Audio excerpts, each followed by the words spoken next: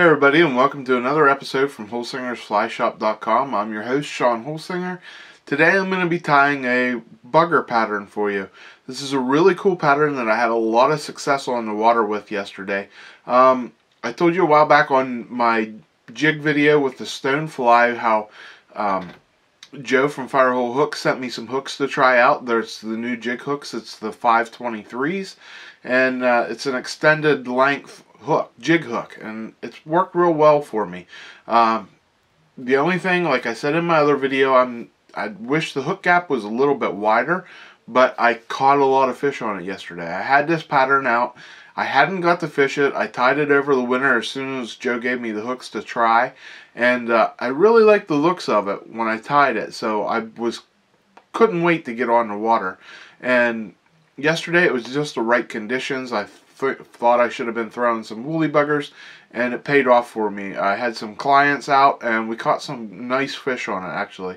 Uh, I caught a really nice wild brown, probably close to 15 inches on this pattern. Anyhow, it's not hard to tie, and it's a different twist on a woolly bugger. Uh, of course, it's on a jig hook, too, which is a different twist. And helps it ride upside down, keep the hook point up, and uh, keeps you from getting snagged up a lot extra. So give this want to try. It's a it's a different twist. You're gonna just use dubbing on it instead of hackle and chenille like you're used to on a bugger. But this is a great leech pattern. Uh, I tie it in brown. It looks great for a crayfish too. So we caught a lot of fish on browns and blacks. And I tied it in a couple other colors. Actually, the way I found out about it was a, a different pattern and uh, that's worked really well for me in a different color and I kind of put a twist on it and did it in these colors and boy they worked real well. So give this fly a try. You're gonna catch fish on it. Here's a picture of it in the material list and let's get started tying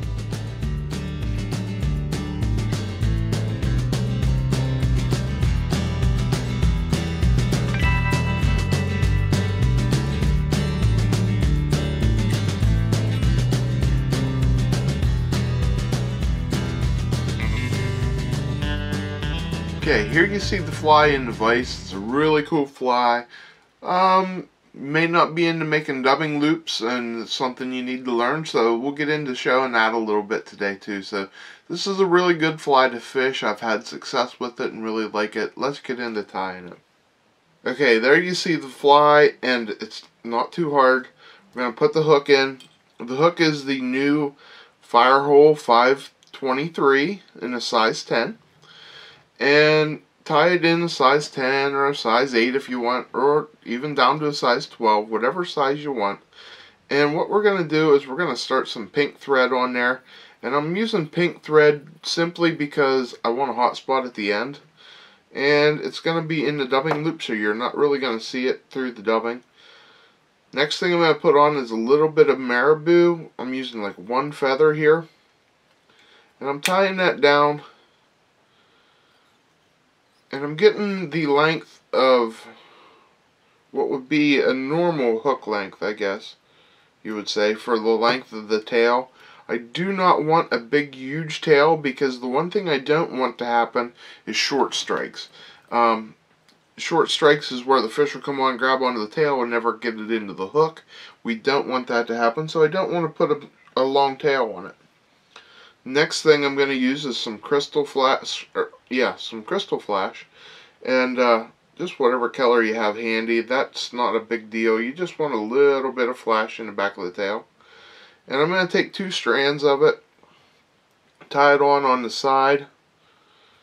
I always start on the side closest to me because that's where I can see it easy. And then I'll flip it around to the other side and tie it straight off the other side. Then I'll come in and snip at the length of my tail. There you go. You see you have two little pieces of Krystal Flash. Just enough to give the tail just a little bit of flash. Next thing I'm going to do is I'm going to take and put a little bit of extra lead. The bead I should add on here. The bead is a 3.8 millimeter slotted tungsten in a copper. And I'm going to put an extra little bit of lead for extra weight and also to keep that bead in place. That's the big reason why I put the lead on there. I like to take the lead and slide it up in the back end of the bead. And as you see now, that bead does not move. It doesn't twist around there. So that kind of locks it in place. We're going to cover up with thread just to make sure it doesn't move and covers it. And then I'm going to try here to blend the body in together and smooth out the distance from where I cut that marabou tail off. Okay, once I got that smoothed out there a little better, I'm going to do the last step, which is make a dubbing loop. Now to make my dubbing loop, I'm going to pull out the thread here. I'm going to use my dubbing loop twister tool. And uh, this is a big one. There's different ones you can use. This is the one that I use. And it's got a thing that rotates. You spin it in your finger here. It's pretty easy to use. You can get a nice grip on it spin it with your thumb. That's one of the reasons why I like it. So you're just going to put this, I'm going to get her down here where you can see it in the camera. You're going to slip it in one side, flip it over and slip it in the other side so you got a good grip on it. Then I'm going to drop it down. You can see in my other camera view here. I'm going to drop it down and I'm going to make a big loop with this. And then we're going to wrap it back onto the back onto the hook here. And then once I get it wrapped around, I'm going to make one wrap around it to bring those thread ends closest to my hook there. Bring that together. And then I'm going to just bring this up to the bead. Now, next, I want to use, this is a black one I'm tying. So I'm going to use some Dark Stone SLF. This is Dubbing Blends from the Dubbing Blends number 2 box. But you can also get it. It's Dark Stone is the color. I'm just going to pull some of this out. And what I'm going to do is you see I pulled a big clump of it out. Well, I'm going to take this and I'm going to separate it. And I'm going to try to thin it out and get the fibers in a line. Okay, you'll see here what I mean by that. I tried to line up the fibers and get them spread out and, and thin so I can put it in between my dubbing loop. Now this is a pretty long hook so I'm going to have to do probably twice on this.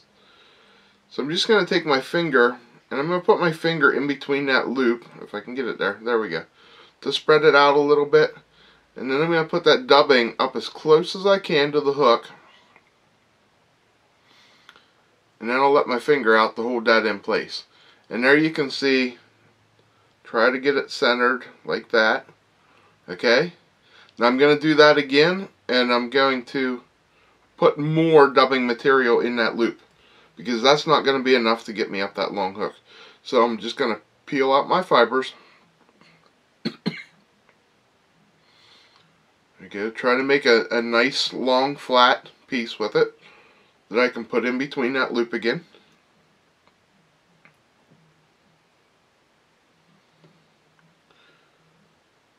Okay, slide it in that loop. And we'll try starting with this. Then you're just going to pull tension on that so it locks it all in place. You can see how I got a nice brush of it here.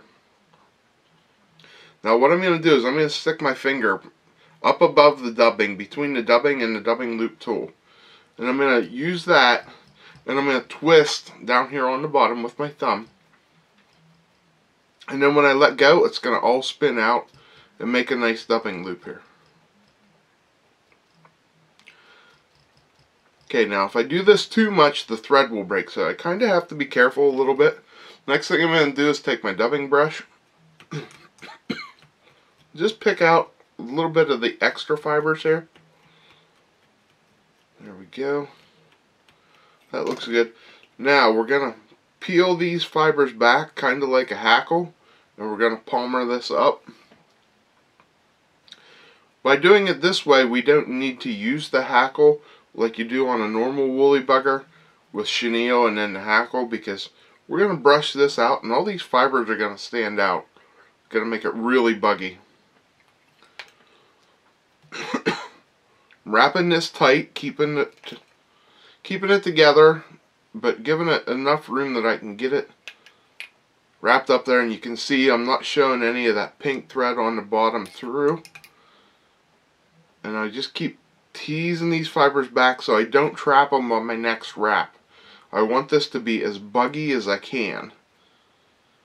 And it looks like I'm going to end up just a hair short on this and I'm going to have to do another loop and that's no problem. Okay. So, you see I ended up just a hair shy.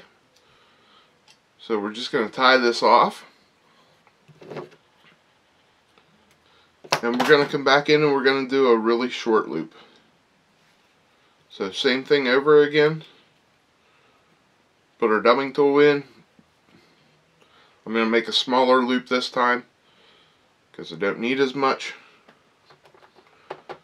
Just going to pick out a little bit of dubbing.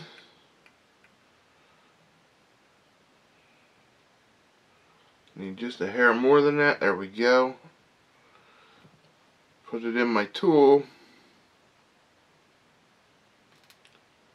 and then when you pinch down on it you want to slide it right up to the end there and you want to try to make sure that your thread is in the middle of all your fibers and then we're just going to twist it up again again using my fingers between my tool and the dubbing and when it starts to roll like that let go and it'll finish rolling itself out and then I'm just going to pick out the loose couple ones there. And then run this right up there behind the bead. Now like I said, I used the pink thread so I can make a nice little hot spot color on here. So I'm going to make about three wraps, wrap that down. Trim that off. And I'm going to wet finish.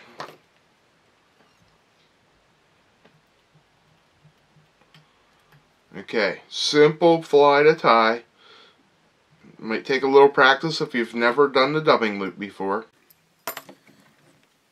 Now I'm just going to take my dubbing brush and just brush this out. Try to get those fibers, get it nice and buggy. There you can see it's really nice and buggy. Be careful when you use a dubbing brush like this that you don't hit your hot spot because they'll all fray. But otherwise, there you go. There's how it's going to ride in the water. It's a great looking fly, and it's a fish catching fly.